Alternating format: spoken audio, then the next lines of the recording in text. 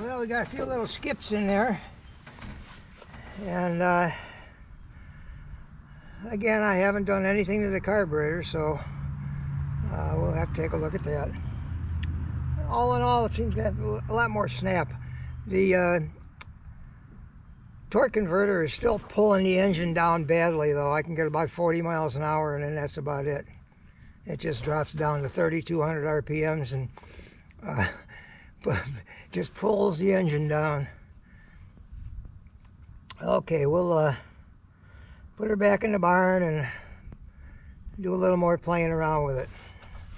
That's about it.